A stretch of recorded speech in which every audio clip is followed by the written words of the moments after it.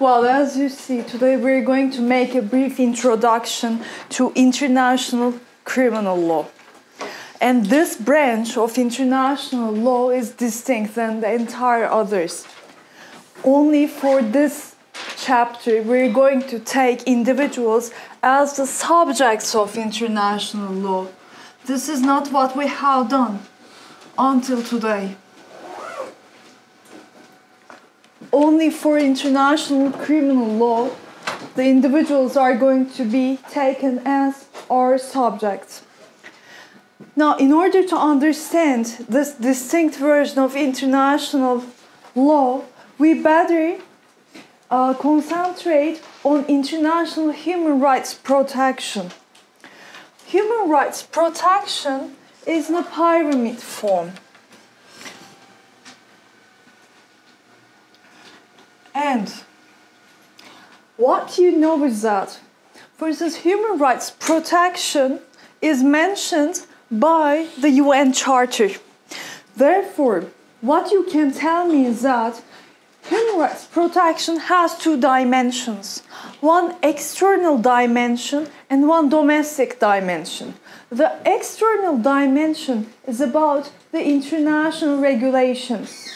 So, here we can talk about the United Nations, the UN Charter as protector of human rights. What else? The Security Council is a protector of human rights.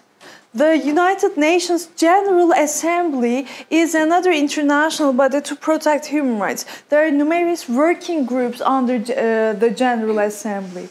Or, we have mentioned the Security Council, the General Assembly, what else? United Nations Human Rights Committee is another sub-branch of United Nations. And there are many other sub-branches that deal with human rights protection. Like High Commissioner for Refugees is also dealing with human rights protection, for instance, but specifically on the refugees and asylum seekers, their protection and promotion of their rights. So here we come across with the international protection. In the middle, we come across with regional protections which is most famous in our region. Um, European, which court? European Court of Human Rights. Great. European Court of Human Rights is, for instance, one regional protection body. And there are many other uh, regional protection bodies, like in Africa, like in uh, Latin America. I guess the only lacking region is Asia. They don't have a regional protection system, if I'm not mistaken. At the top of the pyramid, we come across with the local protection, the state. Once your rights are somehow violated, you know that you do not directly make applications to Security Council or the General Assembly. Actually, individuals do not make applications by them anyway. Therefore, once your human rights are violated, you expect a protection by your own state, actually, by your own courts. So, this is how it should work. First of all, you have to you know that you're under the protection, under the umbrella of your citizenship country, your country of origin. You can become a migrant. You can leave your country for education reasons uh, you can conduct your master's degree, PhD in another another country, and you can still go back to your own country because you know that your citizenship country is protecting your rights still. Your state is your main protector of your human rights. So this is how human rights protection is expected to work. First of all, you go to your own courts, you exhaust your entire domestic remedies so if there are appeals and so on, you go for them. And once you exhaust entire domestic remedies, then you're allowed to refer your case to European Court of Human Rights. So first of all, you have to be finished with the domestic remedies. This is how this pyramid works. At this stage, we have international criminal law because we can come across with many anomalies at this stage. Well, what can happen is that in the history, unfortunately, we had many examples of that. Let's start with the uh, Jewish Holocaust in Germany. All those Jews were also citizens of the German state. They were under the protection of German state. What has happened is that German state has started a new state policy which is against its own citizens. So, once the state policy turns against its own citizens, then we need international criminal law. What we know is that once state policies start to turn against you, how this happens is that it is the politicians, it is the legislative branch that are in charge of changing the laws. Therefore, they can start new laws against you and they can make illegal things turn into legal uh, measures. That was the case in Germany. It was totally legal what uh, German soldiers were doing against Jewish citizens because the laws were allowing that. So what if the domestic laws turns against you? What if domestic courts are not protecting your court, uh, your rights anymore? the thing is that who's changing those policies, who's changing those laws are mainly the leaders, parliament members, the legislative. They change the laws, and who implement them is, for most of the time, the military, the army. The problem there is that well, normally, if another individual is violating your human rights, you can simply refer that individual to your local court. If it is your leaders, if it is the parliament members, then you cannot refer them to a court. Why so? Because they are immune. They're untouchables. They cannot be referred to courts. At that point, the individual, the citizen, remains so weak and vulnerable. So, this is an anomaly that can happen in the system.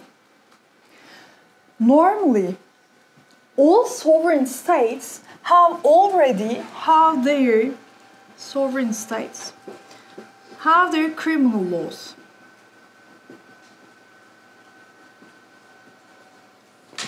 that deals with crimes and criminals.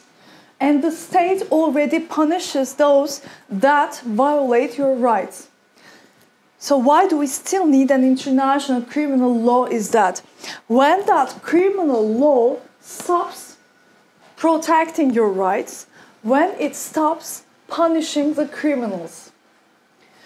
And what you have to keep in mind is that there are many versions of human rights violations, of course. Right to expression can be silenced during state of emergency. This is completely legitimate and legal. Here, under international criminal law, the violations of human rights are already determined. And at that point, we have a source actually. That is the Rome Statute. Rome Statute is the founding treaty of International Criminal Court. The Rome Statute was adopted in 1998. An International Criminal Court is established in 2002. As you see, the court is actually a baby court, quite a new one. And the statute of International Criminal Court has already established four core international crimes. genocide, war crimes, crimes against humanity, and the act of aggression. So, international criminal law defines and deals only with those four crimes. Your consumer rights are also human rights, and your violation of your consumer rights are already dealt with your domestic courts. And if that does not function, then perhaps regional ones. What international criminal law deals with is only grave violations of human rights, huge violations of human rights.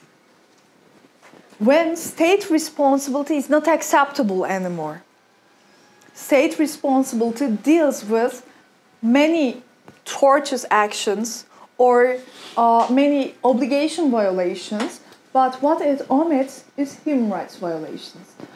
Under grave human rights violations, the crime is not imputable on the state anymore.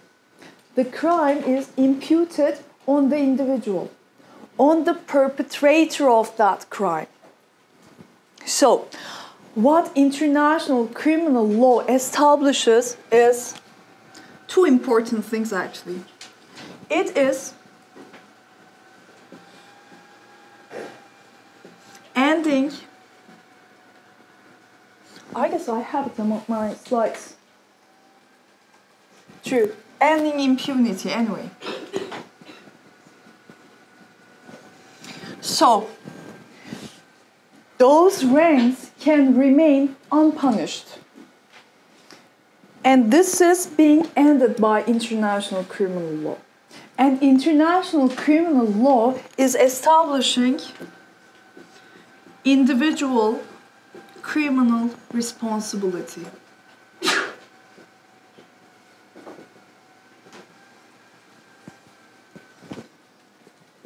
It ends impunity. No one remains unpunished if they are the perpetrators of four core crimes against human rights. And individual re, uh, criminal responsibility is established. The crimes cannot be imputed, they cannot be attributed on the state anymore.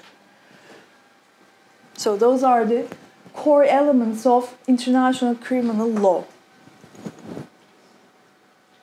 And we have said that according to international criminal law, there are four main crimes it's genocide, war crimes, crimes against humanity, and act of aggression. The thing is that what's a genocide? You already have a general picture of what a genocide is, and the basic explanation is that killing the members of one group. That's the first thing that pops up. The thing is that after members of one community is killed, it can be called as a genocide. So first you have to wait until all members are killed, then you can call it as a genocide. Is it the case? It sounds as if so. For genocide, let's start with the source actually. We have, for this class, two main sources. The first one is the Genocide Convention of 48. And the second one is the Statute of ICTY, which is International Criminal Tribunal for the former Yugoslavia. I hope you're taking down notes because it's not in my slides. Either you have to do your readings properly or you better take down notes during the class. So, uh, the Genocide Convention of 48, you can simply imagine why that was prepared, after which event.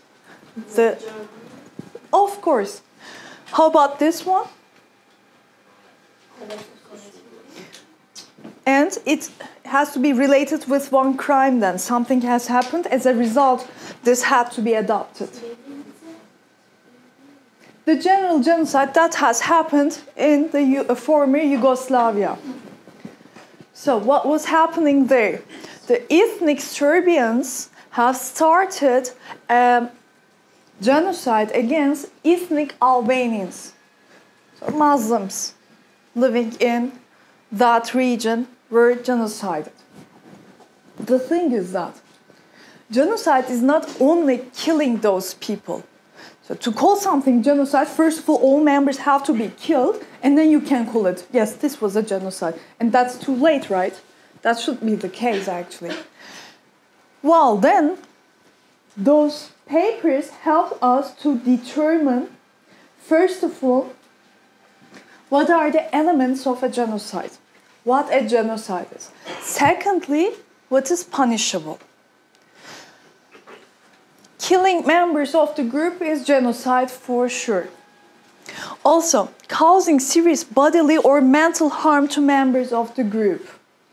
If you start reading about genocide, that has happened in Rwanda, that has happened in Yugoslavia, that has happened in Germany. There are some other examples as well. You hate humanity. You can't imagine how this kind of harm can be given to human beings. So it starts from poisoning the water of certain villages to establishing pregnancy camps in Yugoslavia. I don't know if you have ever heard of it. Females were first, female ethnic Albanians, or Muslims, were first raped by Serbian soldiers. And then they were put in a camp where they cannot kill themselves. And that pregnancy camps also functioned as rape camps. And after those females were pregnant, they were kept that they could not commit any kind of suicide. And after they have delivered the kid, Serbian soldiers were taking away the baby, thanking the mother for adding a new member to the Serbian society, and then she can die now. So uh, you force another ethnic group producing uh, new generations for your own ethnic society, and then you kill them. This is also genocide. Or I've spoken about poisoning the water of certain areas so that they die. So uh, you're inflicting the living conditions of that society, that they don't have either any reach to clean water or food, as it's mentioned here, or uh, it's also possible to cause serious harms on their bodies that they are not healthy anymore or that they cannot reproduce anymore. This is also genocide. Transferring their children to another group. So the aim is giving a harm on their population. They're all considered as genocide. What was the main aim of uh, Adolf Hitler in Germany? To creating the Übermensch. What does the Übermensch look like? Blue eyes, blonde hair.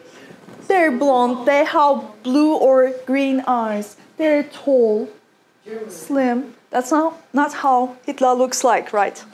It's not even Germany, Joe. Isn't he Austrian? That's true. Uh, the thing is that that was his projection of the future community. So what he was doing is, well, I'm just putting the general lines of it. Of course, it has many details in that. First of all, making the ideal German couples. So blonde people come together, and make families, and this is ideal German family. Plus, um, yeah, send some German troops to Denmark and Norway to steal some babies, blonde babies. And those babies were transferred to German families so that new blonde people could be added. That was not a genocide on Denmark or Norway. And uh, last decade, there were some actually researches done in Berlin to find those people and find their families in Denmark and Norway. So it was a continuing process so such things have really taken place. That's why they had to be mentioned in the uh, in the statute of the International Criminal Tribunal of the former Yugoslavia's list. What a genocide is. First of all, that's the definition of genocide. And here you see what punishable is. Genocide itself is a punishable act. This is the first thing. Secondly, the conspiracy to commit genocide is also punishable. Why do you think so? Because genocide occurs, it's too late. True, of course. And imagine you hear that the society is getting ready to commit genocide on your own group, whatever that is. Then what happens is you have a job here, you have a family here, you have an apartment here, car, and so on. You have to leave before you get killed, right? Before you are harmed, injured, whatever.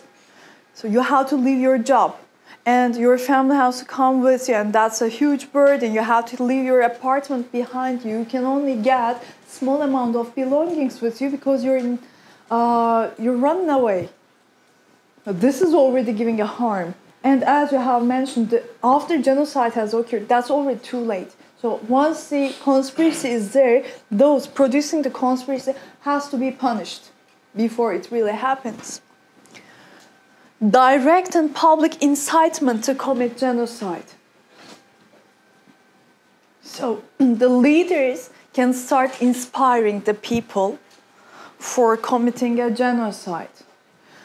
First of all, they may start spreading hate among the society. They can just mark two groups as the real owners of the nation and traitors, for instance, hated ones. And then they can perhaps start making a referendum. And let's imagine we're living in, I guess this is Çankaya district still, right? As a result of the referendum, Çankaya district votes 90% in favor of those hated group, let's say. And then the state starts spreading weapons or making buying weapons so easy for the society. So the main uh, owners of the nation and the state, they buy weapons because they want to protect their nation, they want to protect their state. Imagine now, a referendum happens and this percent of this district has voted for those hated group. So, if the rest of the society kills everybody living in this district, they only make a failure of 10%. They know it in beforehand. So this is how the state can start inspiring people for a genocide. And uh, they can also provide some incitement for that. The attempt to commit a genocide. An attempt, so the action may start, but they cannot fulfill it. Still, the aim was committing the genocide. Therefore, it also has to be something punishable. And lastly, complicity to commit genocide. This is cooperation, collaboration. So you are not the soldier killing the Jews, but you are the one showing where they're hiding. So you somehow help those people that are there to commit genocide. This is then your complicity act. This is purely punishable. This is also sanctioned by international criminal law. As you have seen, International Criminal Court, the ICC, was established in 2002. It's so new. But the crimes that we mentioned, like in Rwanda, like in Yugoslavia, like in Germany, that has happened in 40s and 1990s. So criminal court was not there. Therefore, there was a need for ad hoc courts. Ad hoc courts are those courts that are established for one single case. And after the case is closed, then the court does not continue functioning anymore. ICC, International Criminal Court, is a permanent one. At the moment, since 2002, there is no need for ad hoc courts. But formerly, we can talk about the military tribunal of Nuremberg, for instance. That was one ad hoc court. International Criminal Tribunal for the former Yugoslavia, ICTY, is one ad hoc court. Uh, Tokyo Tribunals is one ad hoc court. All right? That was necessary. And before ICC, they have placed the basics of international criminal law. So, what a genocide is, what punishable is, is set for the first time by them. We have other sources, and I'll move to them, like Nuremberg principles. In order to uh, try all those German soldiers in Nuremberg trials, first of all, the International Committee of Judges needed a certain judgment basis, and there was no international criminal law yet. Therefore, they had to set, set the basics. I'll come to that. Let's move to the second crime, the war crimes. War or armed conflict is also regulated by international law. War has its rules. For instance, to start war, first of all, the state is expected to declare war. If it has casus belli, it is, if it has real reasons to make a war, then what we expect in the first instance is that they declare war against X state. Secondly, we expect that the army members put their uniforms on, on so that you know who is there to fight. And you can distinguish between who is a civilian and who is a soldier. And in a war, soldiers fight with soldiers. Soldiers do not fight with civilians. So those are the rules of a war. Soldiers do not kill civilians or unarmed, unweaponized people. War crimes are those crimes committed mainly by soldiers and they are for the uh, most of the time committed against civilians do you remember the incident in, uh, in iraq abu ghraib prison The torture as by American soldiers to Ira- Iraqi people. Definitely. So it was soldiers on one hand, on the other hand, civilians. And what we come across is actually unhuman behavior. That was war crimes. War crimes include all kinds of crimes that you can think of. That can be about hijacking, that can be about kidnapping, that can be about torture, that can be rape, that can be robbery. The list is also the same for crimes against humanity. The difference in between war crimes and crimes against humanity is that war crimes take place during war conditions, after war is declared. Crimes against humanity are the same crimes, but they happen during peace. And when I mention peace, students tend to think of times where all clouds are pink, Hello Kitties are greeting you while go- you're going to the university, and unicorns are running around. No, the times can be so politically tense. Everything can be so critical, but when war is not declared, that's time of peace. And after war is declared, then it's wartime. So that's the difference. And when I say that those are the crimes that take place during peace, it doesn't mean that everything was perfect, but suddenly something has happened. No.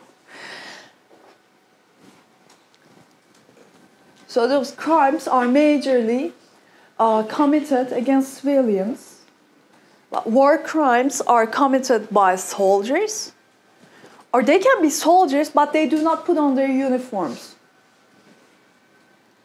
That's also not a legitimate way to fight. That's also a war crime, for instance. We can move to act of aggression. Yes. Uh, it was done by soldiers, um, but uh, two civilians, we said. But uh, can it be done uh, by a soldier to, To another soldier, can, that can also uh, take place. And um, do we have a source for uh, war crimes? There are many sources actually, but the main source that you can use, actually I did not mention because I did not want to make your exam harder. And as IR people, the most important thing that you have to keep in mind is the genocide part. But for the all other crimes that we have mentioned, you can uh, basically turn to the statute of ICTY. This is your starting point, and you can also visit the Nuremberg Principles, Statute of Tokyo Tribunals, and the Rome Statute as well. And including the genocide as well. For genocide, I have mentioned only two uh, sources the Genocide Convention and again ICTY statute. But under the United Nations, there are numerous other treaties related to those crimes. I mean, if necessary for your research, then you can find them out to uh, the UN. Act of aggression is the most confusing crime for the students. Act of aggression is that. Imagine you have, let's imagine there are two countries, state A and state B. And they share a border. And state A wants to attack state B, but they don't have a casus belli.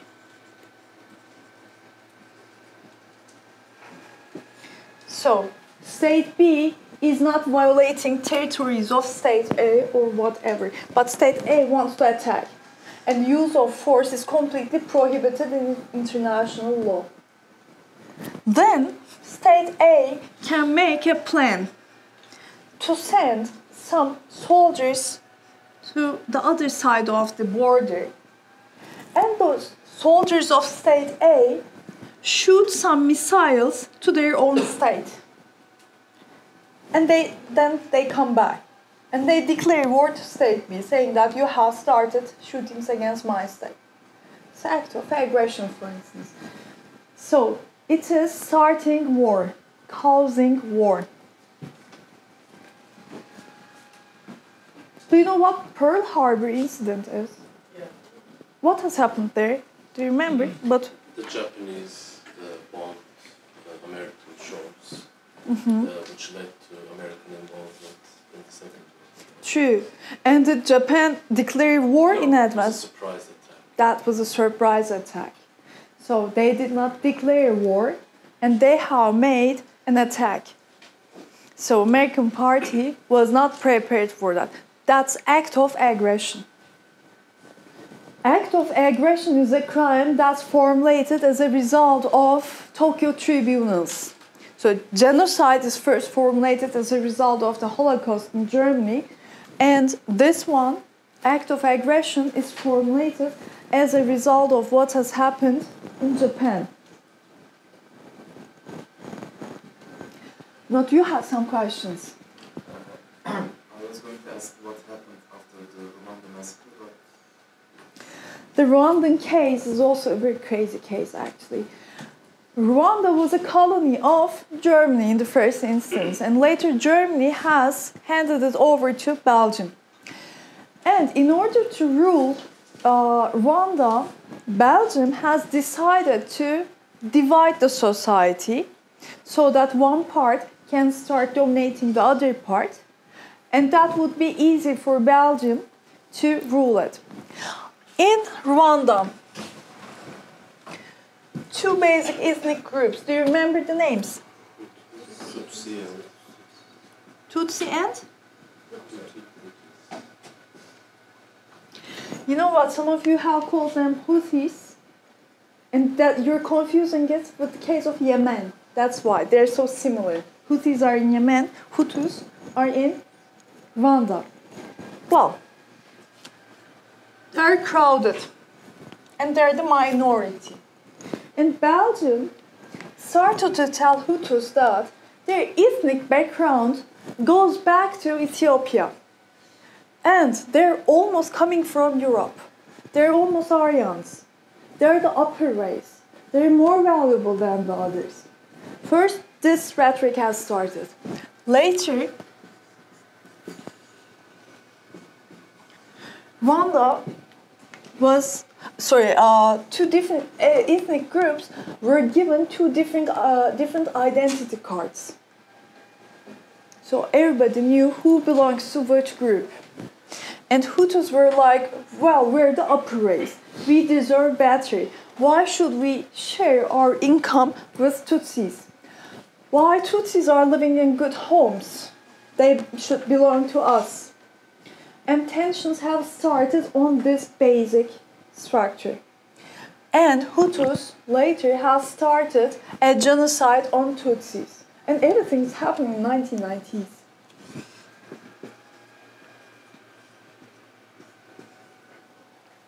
Globalization was already there. Communication was possible. People were hearing what was happening in Rwanda. Transport, transportation was facilitated. It was also easy to go there and to stop what's happening, and no one has stopped it. Well, actually, how it came to an end is that Tutsis were running away, of course, and while they were escaping, they have also started to enter to the territories of Uganda. And Uganda already had some territorial conflicts with Rwanda. And at the end, after Tutsis have started to enter and that territorial problem uh, became more tense, Uganda was angry and has entered to stop the violence so that they can also stop invading the territories of Uganda.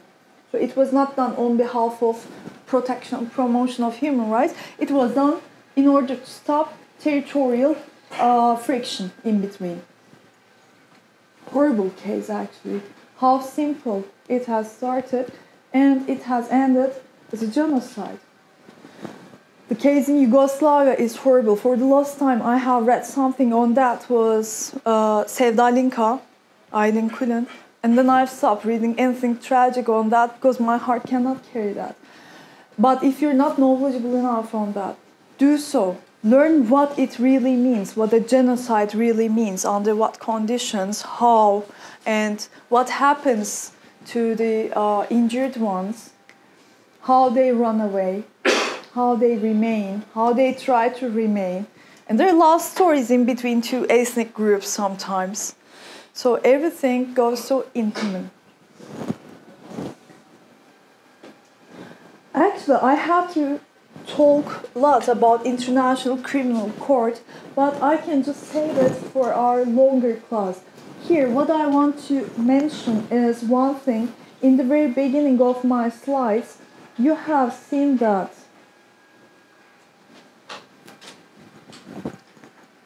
There are certain states that have signed the Rome Statute, but later they have decided not to ratify it. So, why is that important? There's one thing that you have to keep in mind.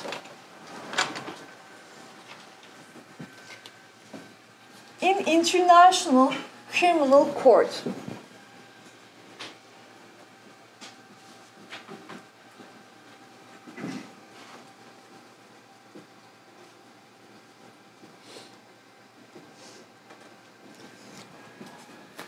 to make a com- uh, complaint or to be complained about, your state has to be a part member to the Rome Statute. This is the first necessity.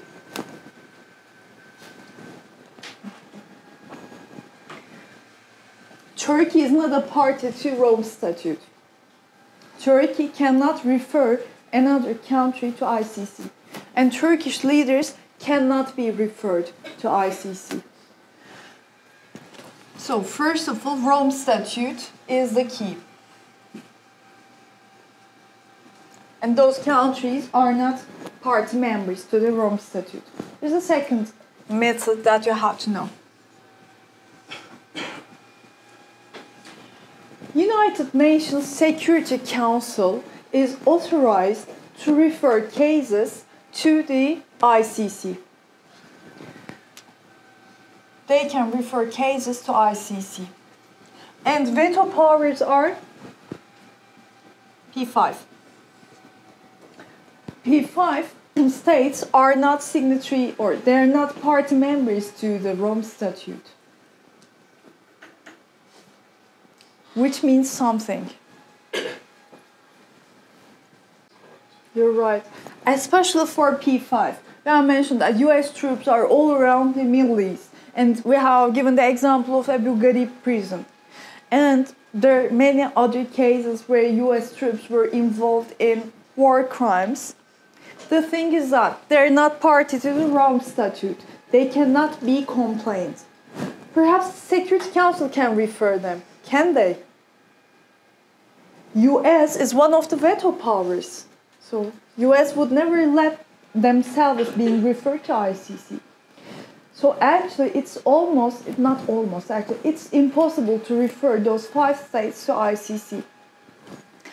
And as for the Sudanese case, as Batu has mentioned, actually at the moment there is a huge friction in between the African states and the ICC. It was like that. Uh, Omar al-Bashir, he was once in South Africa. And he was invited there by South Africa for a meeting.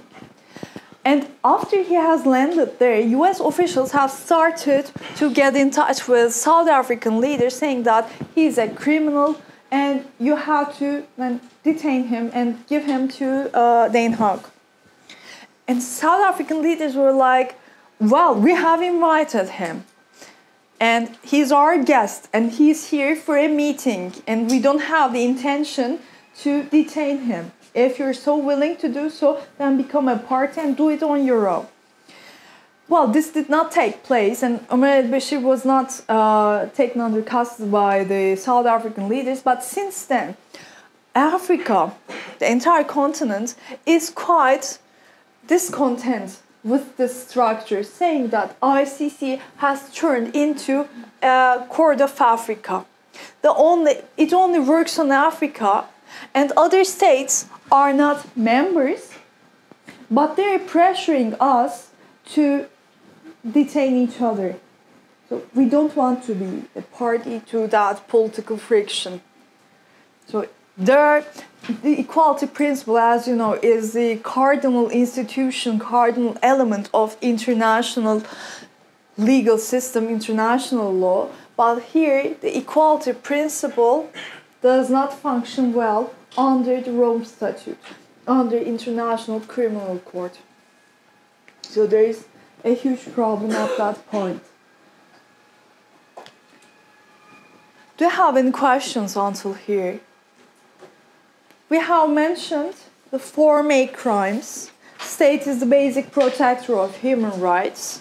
And once anomalies start in between state and its protection vis-a-vis its own citizens, then international criminal law kicks in. Four crimes are determined by the Rome Statute. Besides Rome Statute, we have other sources like the Statute of uh, the International Criminal Tribunal of former Yugoslavia, and some other papers are still necessary to be mentioned, like Nuremberg Principles and so on. But we'll continue next week then in our two hours class. Did you sign the attendance?